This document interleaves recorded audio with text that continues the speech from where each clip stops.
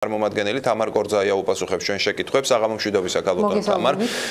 მე მაინტერესებს თქვენთვის რა აჩვენა ამ კონკრეტულმა საკითხმა საპატრიარქოსა და სახელმწიფო შორის ურთიერთობის კუთხე. მე პირველ რიგში ხაზი მინდა გაუსვა იმას, რომ როდესაც აფასებთ ხელისუფლების პოზიციას, რესპუბლიკური პარტია არის ხელისუფლების ნაწილი, კოალიციის ერთ-ერთი ძლიერი წევრი და მინდა გითხრათ, რომ რესპუბლიკურმა პარტიამ გუშინ დილიდანვე განაცხადა საკუთარი პოზიცია ამ ფაქტთან დაკავშირებით და ჩვენ კაფეოდ გამოვხატეთ, რომ რესპუბლიკური პარტია დაარსდა და თავისი დაარსების დღიდან იბრძვის სახელმწიფოებრივი პოზიციების გამყარებისათვის, იმისათვის, რომ რეალურად საერო ხელისუფლება არსებობდეს ამ ქვეყანაში და დემოკრატიული ინსტიტუტები იყოს გაძლიერებული და ეს ძალიან ნათლად იქნა ჩვენს მიერ გუშინვე გამოხატული.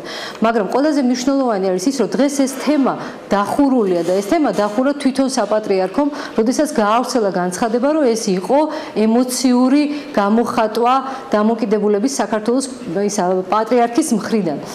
შესაბამისად ეკლესია თვითონ ძალზე გონივრულად მიუდგა ამ საკითხს და გააკეთა განმარტება.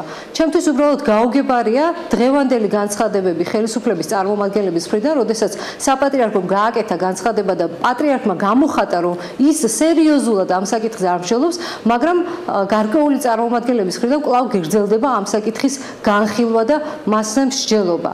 მე ვთვლი, რომ საქართველოს არის და საერთოდ ჩვენი პარტია, რესპუბლიკური პარტია ცალსახად არის იმ პოზიციაზე, რომ საქართველოს არის დემოკრატიული სახელმწიფო, სადაც მკაფიოდ არის გამიჯნული სეკულარული სახელმწიფოს პრინციპები რელიგიური პრინციპებისაგან. ამ პრინციპებს აღიარებს დღეს საქართველოს მართლმადიდებლური ეკლესია თავისი განცხადებით და მე მგონი ყველაფერი ამ წუთას უკვე დაალაგდა და არის საკუთარ ჩარჩოებში და მიმდინარეობს ისე, როგორც უნდა მიმდინარეობდეს დემოკრატიულ საზოგადოებაში. ანუ მსჯელობა იმ საკითხზე რომ რაღაც ფორმით პატრიარქს შეიძლება კონდეს თქვა შეწყალების უფლება რა ყოველ შემთხვევაში ინიცირება პირადად მას როგორც ეკლესიის მეტაურს თქვენი აზრით ამ საკითხის განხილვის გაგრძელება აღარ არის საჭირო? ამ საკითხს ვერ გავაგრძელებთ იმიტომ რომ თავად საპატრიარქომ განაცხადა რომ ეს მსჯელობა არ უნდა მოხდეს იმიტომ რომ ისინი არ თვლიან რომ ეს საკითხი უნდა იქნეს განხილული.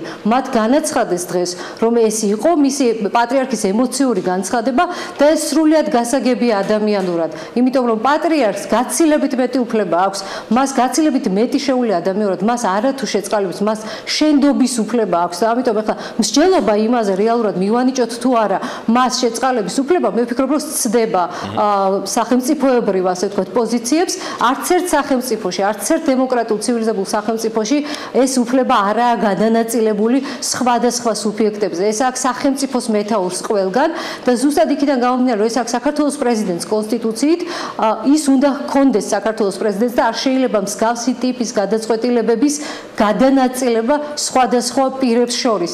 და მე ვფიქრობ, რომ საქართველოს პრეზიდენტსაც აქვს ამ თვალსაზრისით საკმაოდ მკაფიო და ნათელი პოზიცია, მით უფრო მსჯავრდებული ქალების მიმართ. თქვენ იცით, რომ მისი დამსახურებით საქართველოში არ არსებობენ უკვე უადო მსჯავრდებული ქალები.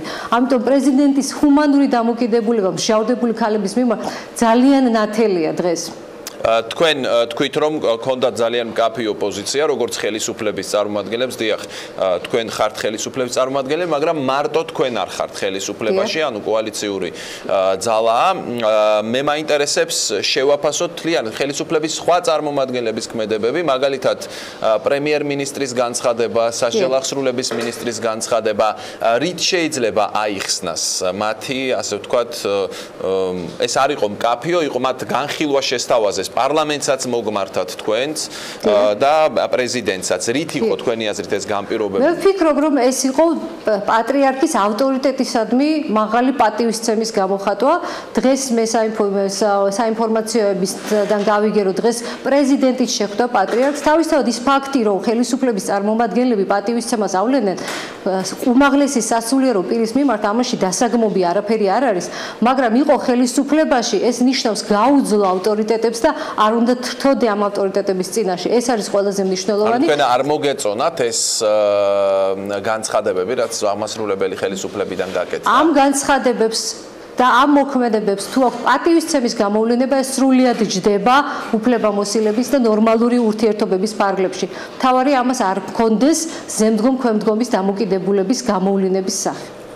ანუ ხელის აღმასრულებელ ხელისუფლებაში ყოველ შემთხვევაში ვინც იმ შეხვედრას ესწრებოდნენ დაბნეულობა არ შეგინიშნავთ, ანუ მხოლოდ პატივისცემის გამოხატულებად აღიქვით ეს. თუ რა გარკვეულ გამოსავალს ეძებს. შეფასებები არ არის განსაკუთრებით მნიშვნელოვანი, ყველაზე მაღალი, ასე ვთქვათ, პასუხისგე ყველაზე უმაღლესი პასუხისგებლობა ამ პროცესში ნამდვილად გამოავლინა თვითონ საპატრიარქომ და მან დაუსვა ამ დისკუსიას წერტილი. და მე ვფიქრობ, რომ ამ თე დისკუსიის გაგრძელებას აზრი არ აქვს, იმიტომ რომ ყველაზე ჯანსაღი პოზიცია ამ წუთას ყველაზე სწრაფად გამოავლინა თავად საპატრიარქომ.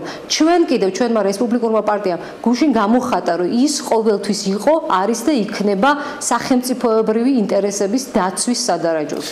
დიდი მადლობა გადაცემაში სტუმრობისთვის. ეს თამარ კორძაია იყო რესპუბლიკური პარტიის წარმომადგენელი და ასევე კოალიციის წარმომადგენელი. ჩვენ რეკლამა გვაქვს და რამდენიმე წუთში დავბრუნდებით პირდაპირ ეთერში სხვა სტუმრებთან ერთად ამავე თემით.